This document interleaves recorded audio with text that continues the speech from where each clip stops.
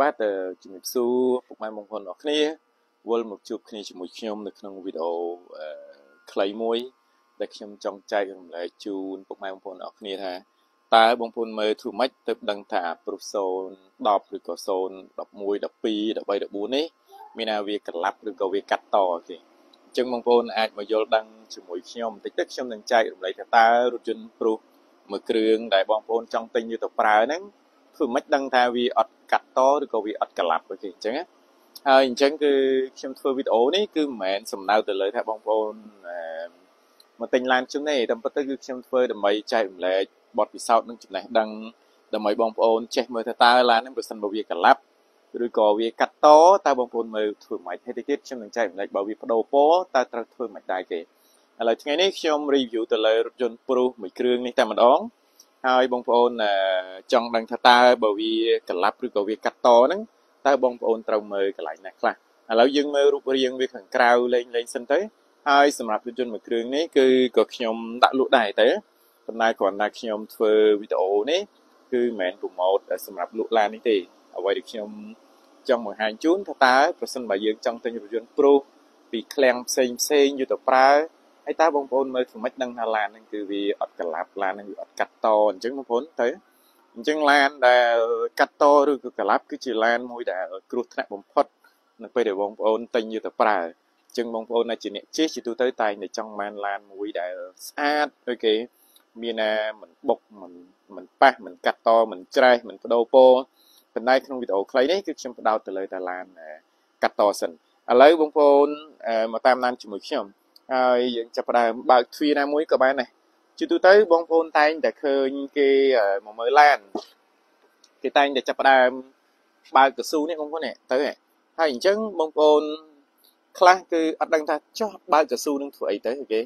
អញ្ចឹងគឺបើកនឹងគោលបំណងអីយើងមិនចេះតែហែកហែកកស៊ូឡានរបស់គេទេអញ្ចឹងនៅក្នុងវីដេអូនេះខ្ញុំចែករំលែកជូនបងប្អូនដែលអត់តន់ចេះដើម្បីអាចមកចេះមើលឡានកលាប់ឬក៏ឡាននឹង បុកឬក៏ឡានកាត់តក៏បានដែរអញ្ចឹងមែនបើវាបុកចំលើហ្នឹងប៉ុន្តែជាទៅគឺវាបុកវាច្រើនប៉ះពីចំហៀងទ្វារនេះឬក៏ពីគូតក្រោយឬក៏ពីខាងមុខជាទូទៅឡានដែលយើងច្រើនផ្ដោតទៅលើគឺរៀងជាហៀងតែហើយបើចំហ្មងគឺវាមិនងាយទេហើយមកបុកចំធ្នឹមចេះហ្មងគឺវាងាយទេអញ្ចឹងអ្វីដែលខ្ញុំចែកម្លែកទៅលើអាធ្នឹមលើនេះគឺខ្ញុំផ្ដោតទៅលើឡានកាត់តឬក៏ខ្ញុំផ្ដោតទៅលើឡានកលាប់អូខេបងប្អូនអញ្ចឹង អូខេឥឡូវខ្ញុំផលិតម៉ាស៊ីនឡានទៅដើម្បីកុំឲ្យរំខានដល់អឺបងប្អូនស្ដាប់គឺខ្ញុំបកស្រាយទៅលើរថយន្តមួយនេះតើតើយើងមើលធ្វើម៉េចដើម្បីដឹងថាវាអត់កលាប់ហើយវាអត់កាត់តគេអញ្ចឹងព្រោះបងប្អូនជួយចិត្តជិះណាដោយសារព្រោះគឺជាឡានមួយដែលស្អាតអូខេទំនើបហើយបន្ទាប់មកគឺវាស៊ីសាំងតិចបងប្អូនមានភាពងាយស្រួលក្នុងការប្រើគឺជួយសន្សំចៃ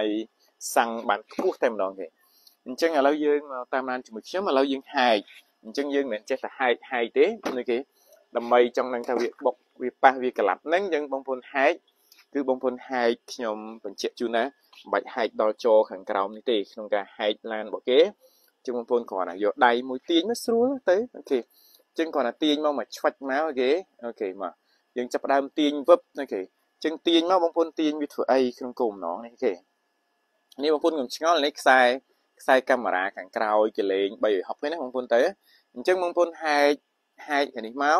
ហែកទ្វារវាទាំង4មកគឺបងប្អូនចង់ដឹងណាតើឡានហ្នឹងគឺវាកលាប់ឬក៏វាកាត់តគេអញ្ចឹងប្រសិនបើឡានហ្នឹងវាកលាប់វាកាត់តបងប្អូនមើលធ្វើមិនដឹងទៅពេលខ្លះបងប្អូនចេះតែហែកហែកអញ្ចឹងដែរទេប៉ុន្តែបងប្អូននឹងថាហែកហ្នឹងហែកធ្វើអីឥឡូវដើម្បីមើលវាកលាប់ឬក៏វាកាត់តហ្នឹងបងប្អូនត្រូវដឹងថាយើងហែកមកហែកមកទី1គឺដើម្បីបងប្អូនមើល សាច់ដែកនេះ3ផ្នត់ជាទូទៅសាច់ដែកនេះគឺវាមាន3ផ្នត់លំពុនឃើញ3ផ្នត់ទេមួយនេះមួយក្នុងនេះមួយទៀត2មួយនេះ3 OK អញ្ចឹងបងប្អូនត្រូវមើលចឹងដែកនេះគឺត្រូវ3ផ្នត់ស្អាតអត់មានស្នាមផ្សារផ្ចិតណាមួយទេអញ្ចឹងគឺបញ្ជាក់ថាឡានហ្នឹងគឺអត់មានក្រឡាប់អឺកន្លែងហ្នឹងហើយបន្ទាប់មកបងប្អូនមើលអាពីលើនេះបងប្អូនឃើញកាយ៉ាវកាយ៉ាវនេះស្អាតទេអញ្ចឹងបើសិនបើកាយ៉ាវហ្នឹងគឺនៅស្អាត OK មកនេះ ចឹងគឺបញ្ជាក់ថាឡានហ្នឹងគឺអត់មានបញ្ហាទេហើយសាច់ដែកហ្នឹងគឺ3ផ្នត់បន្តិចទៀតខ្ញុំនឹងបង្ហាញរូបទៅលើឡានដែលគេហែកហើយខ្ញុំឃើញគេបង្ហោះនៅក្នុង Facebook ពីព្រោះឡានដែលចេញពី Pick My Family 88លោកយន្តគឺអត់មានទេអញ្ចឹងខ្ញុំមានឡានពិតមកបង្ហាញជូនអញ្ចឹងមានតែខ្ញុំទាញរូបយកពី Facebook ពីអីមកហើយដើម្បីចែករំលែកជូនបងប្អូនតែម្ដងឥឡូវខ្ញុំពន្យល់បន្តិចថាប្រសិនបើឡានហ្នឹងគេវាកលាប់ ប៉ះចំធ្នឹមខាងក្រោយហ្នឹងឬក៏ជាហៀងខាងនោះអញ្ចឹងបងប្អូនត្រូវហែកទាំង4ហ្នឹងតែម្ដងអញ្ចឹងឡានដែលខ្ញុំទិញមកគឺខ្ញុំសិតតែត្រូវហែកអញ្ចឹងអញ្ចឹងបងប្អូនហែកទៅបើសិនបើហែកទៅបងប្អូនឃើញមួយទៀតបងប្អូនឃើញឆ្នាំស្នាមឆ្នាំប្រឡាក់ថ្មីថ្មីហើយបន្ទាប់មកគឺឆ្នោតឆ្នោតវាដានដោយសារកស៊ូមួយនេះវារឹបនេះកស៊ូហ្នឹងគឺវាមានដែកអញ្ចឹងបើកស៊ូនឹងរឹបគឺបញ្ជាក់ថាឃើញអានឹងស្នាមស្នាមបញ្ជាក់ថាឡានហ្នឹងគឺធ្វើហ្នឹងហើយឡានហ្នឹងបើមិនកលាប់គឺកាត់កន្លែងហ្នឹងហើយ អញ្ចឹងបងប្អូនមកមើលរូបភាពជាមួយខ្ញុំដែលខ្ញុំ save នៅក្នុងទូរស័ព្ទខ្ញុំដើម្បីយកមកប្រៀបធៀបថាតើឡានដែលវាកលាប់ដែលវាកាត់តហ្នឹងបងប្អូនមើលទៅតើយើងមើលមិនពេលដែលយើងហែកវាគេតោះគេអញ្ចឹងនៅក្នុងទូរស័ព្ទខ្ញុំគឺខ្ញុំបាន save រូបនឹងទុកហើយបងប្អូនមកប្រៀបធៀបជាមួយចំណុចដែលខ្ញុំបញ្ជាក់ជូនបងប្អូនបន្តិចទេតោះអញ្ចឹងសុំបន្តិចខ្ញុំរករូបនឹងជូនពុកម៉ែបងប្អូនអស់គ្នា ហើយបងប្អូនអាចមកស្វែងយល់ជាមួយខ្ញុំថាតើឡានហ្នឹងវាប្រសិនបើវាកាត់តឬក៏វាក្រឡាប់មើលគេយើងមើលម៉េចដឹងទេមក OK ឥឡូវរូបគឺខ្ញុំបានហើយរូប OK អញ្ចឹងឥឡូវបងប្អូនចាប់ផ្ដើមផ្ទៀងជាមួយខ្ញុំមកបន្តិចមែនណាគេខ្ញុំចាប់ផ្ដើម zoom ឲ្យបងប្អូនមើលឲ្យឃើញឲ្យច្បាស់តែម្ដងគេតោះនេះរូបដែលខ្ញុំបានមកពី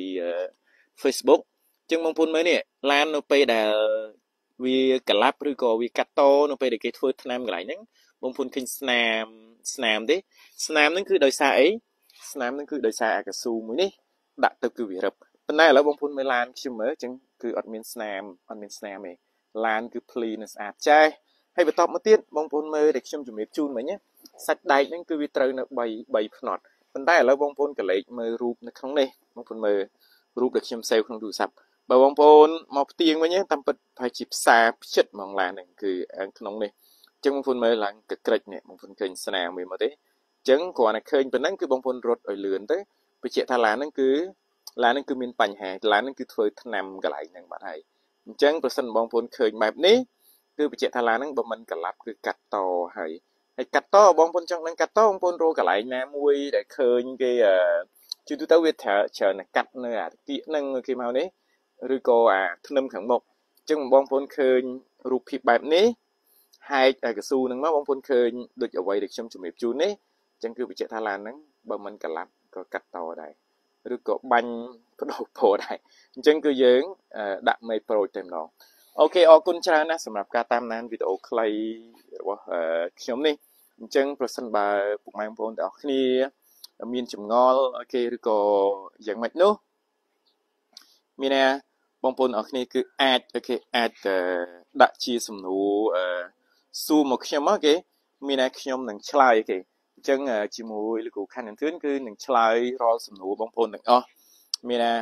ចង់ដឹងថាដបូលនឹងវាស៊ីនអត់វាបុកវាប៉ះវាកាត់តបដូរពោវាកលាប់យ៉ាងម៉េចពេលបងប្អូនទៅដល់ឡានហើយបងប្អូនអាច call ជាមួយខ្ញុំវីដេអូ call ក៏បានឬក៏បងប្អូនអាចពឹងខ្ញុំឲ្យទៅជួយមើលមួយភ្នែកក៏បានអត់បញ្ហាទេអញ្ចឹងរយៈតាមរយៈលេខទូរស័ព្ទខ្ញុំ016 452456អញ្ចឹងបងប្អូនអាចតំណតំណងបានខ្ញុំនឹងអាចជួយមើលមួយផ្នែកជូនបងប្អូន មានអាឡានដែលបងប្អូនឆ្លាញ់ហើយហើយចង់ដឹងថាឡាននឹងស្អាតឬក៏មិនស្អាតអូខេអរគុណច្រើនណាស់សម្រាប់ការតាមដានវីដេអូខ្លីរបស់ខ្ញុំជំរាបលាបាទអរគុណ